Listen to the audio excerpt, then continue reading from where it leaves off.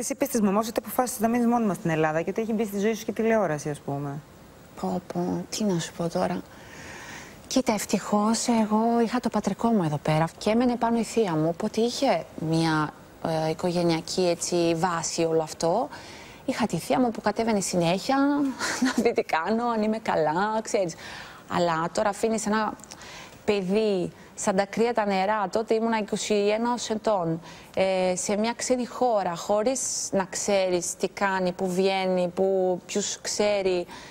Ε, σίγουρα ήταν πάρα πολύ δύσκολο και δεν ήμουν συνηθισμένη σε αυτό, γιατί εγώ μεγάλωσα αρκετά συντηρητικά.